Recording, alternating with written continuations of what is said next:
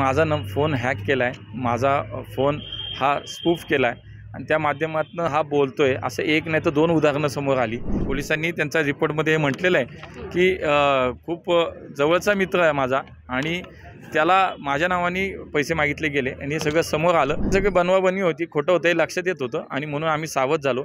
पण पुणे पोलिसांचं कौतुक केलं पाहिजे खूप कमी वेळात. अत्यंत तत्परतेने त्यांनी आरोपींना पकडलं. काय नेमका हा प्रकार घडलेला आहे? तीन दिवसापूर्वी साधारणतः माझ्या एका मित्राचा फोन आला आणि त्यांनी सांगितले की तुझ्या फोनवरनं कोणीतरी व्यक्ती फोन करते आहे आणि ती सांगते की तू मला त्याबद्दल त्यांनी सांगितलं की एका कार्यक्रमासाठी तीन कोटी रुपये तुला द्यायला सांगितलेत. आणि ते इतके जवळची मैत्री असल्यामुळे साधारण त्याला जर तशा पद्धतीचा फोन केला त्यांनी स्वाभाविक मला फोन केला. पण असं काहीच घडलं नाही जेव्हा आमच्या दोघांच्या लक्षात आलं. आणि माझा न फोन हॅक केला आहे माझा फोन हा स्पूफ केला आहे आणि त्या माध्यमातून हा बोलतो आहे असं एक नाही तर दोन उदाहरणं समोर आली.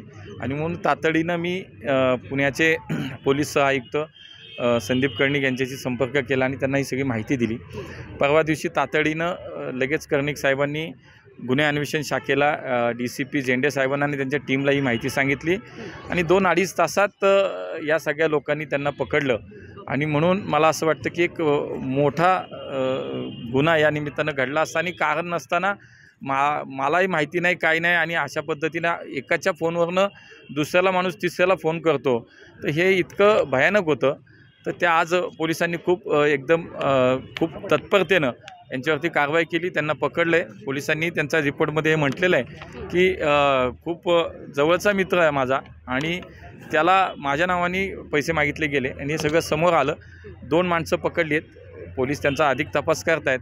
पण ते स्पष्टीकरण होणं महत्त्वाचं होतं कारण आज दिवसभर अनेक न्यूज चॅनेलला आणि सगळीकडे बातमी सोशल मीडियाला फिरत होती की माझ्या नावे खंडणी मागण्यात आली परंतु ती ना माणसं कोण हे नेमकं काय प्रकरण झालं हे स्पष्ट करणं खूप गरजेचं होतं म्हणून मला आज हे आपल्याला सांगावं लागतं. साधारण कधीपासून हा प्रकार घडत होता? म्हणजे तुमच्या एका मित्राने सांगितलं त्या आधी कधी असं नाही आता तीन? दिवसापूर्वीच हे सगळं झालं. लागोपाठ दोन मित्रांना असे फोन गेले दोन्ही मित्रांना पैशाची मागणी केली गेली. पण मला हेच म्हणजे मित्र आहेत आणि त्यांच्याकडेच पैसे मागतात माझ्या फोन नंबर आणि जेव्हा ते माझा फोनवरनं तो बोलतोय असं म्हटलं तर मला फोन दे म्हटल्यानंतर ते सांगायचे नाही ते मिटिंगमध्ये आहेत त्या कार्यक्रमात आहेत. पण अर्जंट आहे मला तुमच्याकडे पैसे आणायला सांगितले. त्यामुळे हे सगळे बनवाबनवी होती खोटं होतं हे लक्षात येत होतं आणि म्हणून आम्ही सावध झालो. पण पुणे पोलिसांचं कौतुक केलं पाहिजे खूप कमी वेळात अत्यंत तत्परतेने त्यांनी आरोपींना पकडलं. कोण आहे कधी त्यांची तुमची भेट कधी झाली आहे? काही नाही काहीच संबंध नाही. कोणीतरी कर्नाटक बाउंड्रीवरचा पाटील म्हणून कोणीतरी आहे संदीप पाटील म्हणून. आणि एक कर्वे रोडचा कोणतरी मुलगा आहे. पण मला असं वाटतं की नक्की याच्यात अजून कोणी आहे काय आहे नेमकं मास्टर माइंड कोण आहे? आणि ॲडव्हान्स टेक्नॉलॉजी एवढी वापरून हे सगळे प्रकार केले जातात. एवढं सायबर क्राईम आज धोक्याचं झालं आहे खरं ते सगळं समोर आलं मला असं वाटतं पोलीस अधिक सावधानतेने किंवा अधिक चौकसपणे याची माहिती घेतील. मधल्या काळामध्ये मुरलीधर मोहोळ हे फार जास्त चर्चेत आलेले आहे. मोठ्या जबाबदाऱ्या तुमच्यावर त्यामुळे तुमच्या राजकीय प्रतिमेला काही धक्का पोचाव्या म्हणून काही हे केलं असेल असं काही षडयंत्र नाही, मला-?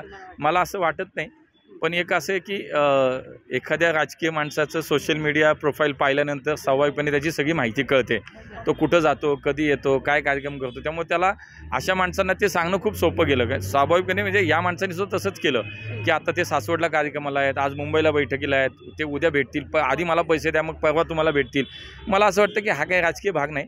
हे केवळ एक गुन्हेगारी वृत्तीनं केलेलं काम आहे. हे माझ्याबरोबर माझ्या सोबतच अनेक लोकांबरोबर होत असणार आहे याचं मला नक्की खात्री वाटते.